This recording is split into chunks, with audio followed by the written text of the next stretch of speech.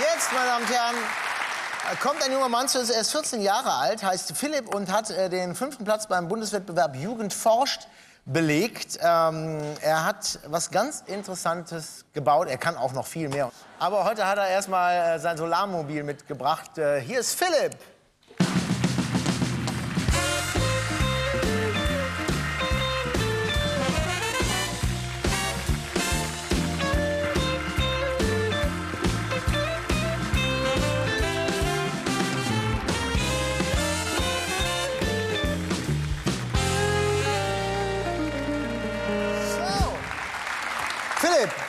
Hallo, du bist 14 Jahre alt Genau, und du hast dieses äh, Solarmobil gebaut. Ganz alleine? ja. Für den Wettbewerb Jugend forscht. Das hast du ganz alleine gemacht? Ja, Hat dir keiner geholfen? nein, Andere bauen Lego-Autos zusammen oder sowas. ja. Ist ja, ähm, braucht man da äh, besondere Fähigkeiten? Also ist es mehr handwerkliches Geschick oder technologisches Know-how oder was ist das? Also es, das ist, Wichtigste. es ist schon ziemlich viel handwerkliches Geschick und ich habe mich seit ähm, ich klein war immer dafür interessiert und mein Papa hat mir das dann beigebracht. Okay, und äh, vielleicht erklärst du es einfach. Lass uns mal nach vorne gehen. Ja. Ähm, das ist also ein, ein, äh, ein, ein Fahrgerät, das äh, basiert auf, einem- auf dem Catcar wahrscheinlich, oder? Genau. Und ähm, das fährt mit einer Batterie, einem Elektromotor und der Elektromotor bzw. die Batterie wird durch Sonnenenergie geladen. Genau. Okay. Wie weit kannst du damit fahren? Also ich kann ähm, so geschätzt dreieinhalb Stunden auf Vollgas fahren. Das ist so ungefähr eine Reichweite von 80 Kilometer. Das heißt, Ohne äh, die Batterie aufzuladen. das Ding fährt über 20? Ja, so ungefähr 20. Ja. Im Moment nicht mehr ganz so, weil ich ähm, habe das ja gebaut, als ich zwölf war. Und Du hast das gebaut, als du zwölf warst? ja, Was hast du gebaut, als du sechs warst? da, also mein Hobby war früher ähm, und jetzt eigentlich auch noch so äh, Modellflugzeuge bauen. Ah, okay. Und so hat das eigentlich angefangen. Okay. Wieso hast du nur den fünften Platz belegt? Also das ist natürlich gut. Du warst bei der Bundeskanzlerin, ja, hast sie besucht. Es gibt sogar Fotos äh, von dir an der Bundeskanzlerin. Kann man vielleicht gerade mal sehen. Da. Schon fast so groß, ne? Ja, Ja. Und die Frisur ist auch ganz ähnlich. äh, und ähm, äh, was hat der vierte Platz gemacht? ähm, das weiß ich nicht. Waren, nicht es waren auf jeden Fall viele gute Projekte dabei. Ja. Aber auf dem Bundeswettbewerb, ich war ja unter 20 Teilnehmern ungefähr, war ich der Jüngste in meinem Fachbegeb. Hat, äh, gibt es da Interesse aus der Industrie oder sind die auch schon so weit in etwa? Also ich habe jetzt vor kurzem gehört, dass verschiedene Städte jetzt auch auf elektrische Autos umstellen wollen. Ja. Und ähm, das Projekt sollte ja auch eigentlich auch zeigen, dass es mit wenig technischem Aufwand möglich ist, sowas überhaupt herzustellen und dass Ja. es funktioniert. Und ich Okay. habe noch nicht mal auf das Gewicht geachtet. Okay, aber auf deins. Ja, Wenn ich mich jetzt da reinsetze, wenn ich mich da reinsetze, dann? Hm, weiß ich nicht, würde es wahrscheinlich nicht fahren oder knack. Weil ich zu schwer bin. ja. Verstehe. Gibt es noch andere hier technische Finessen, die du eingebaut hast? ja, ja, das hat ganz viele Extras. Und zwar können wir Okay. hier zum Beispiel sehen, ich habe also Scheinwerfer Oh. angebaut, vorne und hinten, Sehr gut. Blinker Sehr gut. und links. Das geht auch alles über die gleiche Batterie. Genau, ja. Ja, also ich habe die Batterien ja zusammengeschaltet, das sind zwei Batterien. Ja. Ähm, zu 24 Volt, die kann ich hier vorne abgreifen und hier 12 Volt für den Rest. Selbstverständlich.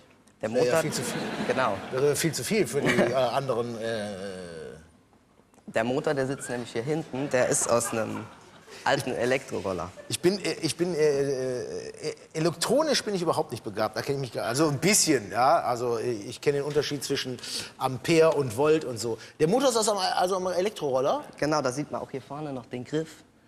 Es war nämlich viel zu aufwendig gewesen, diese Mechanik da drin auszubauen. Und da habe ich dann einfach den Griff, den Griff dran gelassen? Genau, und wenn ich dann hier Gas gebe, Ah, okay. Ach, das ist Griff. aber, guck mal, das finde ich zum Beispiel, das ist mechanisch fantastisch gelöst. Der Griff vom Motorroller ist hier vorne noch dran. Kann man das mal zeigen? Der Griff hier unten und dann geht er durch, diesen, durch, den, durch die Lenkstange nach hinten. Und wenn man hier dran zieht, guck mal hier. Wie viele Stunden Arbeit stecken da drin? Ähm, ein Jahr ungefähr an Arbeit Okay. und Freizeit. Ja. Ähm, was, was hast du hier noch Interessantes? Was ist das? Das ist die Kamera. Dann, und zwar waren bei Jugendforscht immer diese Wettbewerbsstände. Da hatte jeder seinen eigenen Stand. Ja. Und die kann ich nämlich ausfahren. Das ist eine Autoantenne von einem Radio. Aha. Kann ich nach oben ausfahren. Oh! Und dann konnte ich dort über diese Wettbewerbsstände schauen und gucken, was die Konkurrenz macht. Da kann man hier unten.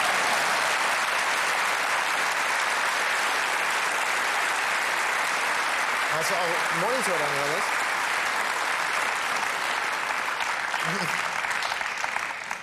Hier unten sitzt dann dieser Monitor. Da konnte ich das beobachten. Ah, okay, da kann man, wenn man drin sitzt, kann man das da unten. Das ist ja Kann cool. man einschalten und dann habe ich hier aber einen separaten Akku, weil die Kamera, also die braucht nur Die 4,5. braucht viel Strom? Nein, nur 4,5 Ach, die Volt. braucht nur 4,5 Volt. Klar, da Genau. brauchst du ja gar keine 12 Volt. Die 24 hast du ja schon von den 12 Volt abgekoppelt. gekoppelt. Das wird also, ähm, das funktioniert über Funkübertragung Ja. an diesen Sender hier unten. Okay. Dann kann ich den Kanal einstellen und dann Ach, guck mal, da, man kann sehen. Ja, guck mal, siehst du? Da oben siehst du das Bild. Kann ich mal, ich guck mal gerade hier. Man kann die Ich auch komme gar nicht bewegen. bis hoch. Kannst du das tiefer machen? Die kannst du auch noch bewegen. Ja. Ja, gibt's das denn? Fahr mal was tiefer, dass man mich vielleicht auf dem Bildschirm sehen kann. Also ich kann die ähm, nicht in verschiedenen Stufen Ah, okay. fahren. Nur ganz hoch oder ganz nach unten. So, ähm, das man kann im Prinzip auch durch den Fluss fahren und kann über den Monitor weiter beobachten, was oben ist. So eine Art Periskop. Ja? ähm, was willst du später mal werden? Ähm, irgendein Beruf im technischen Beruf wäre gut, ja. Ja, Im technischen Bereich. genau.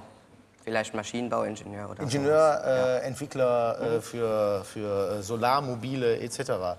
Ähm, was ist der Kostenaufwand für das alles, was du hier Wie viel Geld hast du da reingesteckt? Das äh, musst du erstmal ein altes, einen alten Go-Kart haben, dann brauchst du einen alten, ähm, einen alten Rollermotor. Wo hast du das besorgt? Also das meiste ist übers Internet bestellt und ähm, s- also die Kosten sind so insgesamt ungefähr 300 Euro. 300 Euro. Das geht, ja. Das was würde das in der Serienfertigung kosten, wenn du jetzt, sagen wir mal, 20.000 Stück davon im Jahr bauen würdest? Ich glaube nicht, dass das passieren wird. Nee? Das ist zu klein. Ah, das ist zu klein? Ja. Ach, ich fänd's gut. Es sieht auf jeden Fall futuristisch aus und so. Fährst du damit mal zur Schule? Hast du schon mal gemacht? Nein. Oder kann das, Berg, kann das Berg auffahren oder ist dann die Batterie zu schwach? Es kann schon bergauf fahren, aber nur bis zu einer gewissen Strecke. Ich habe mal so ein Solarauto gebaut, das konnte aber nur bergab fahren. habe ich damals, ich habe das Seifenkiste genannt. ja, äh, wirklich tolle Sache. Ähm, hast du ein Projekt, an dem du gerade arbeitest? Ähm, also ja schon, aber dazu möchte ich eigentlich noch nichts sagen, bis es funktioniert. Ah, Okay. Das ist, achso, bis es funktioniert. Okay, warum funktioniert es noch nicht? Weil das Lenkrad oder was? nee, du musst mir nicht sagen. Kommst du einfach wieder, ja? Ja, ja, Wenn du dann damit bei Jugendforsch warst und äh, gewonnen hast, dann kommst du wieder und stellst uns das Projekt dann vor. Nicht, dass dir irgendeiner die tolle Idee klaut. Alles klar, vielen Dank, Philipp, meine Damen und Herren.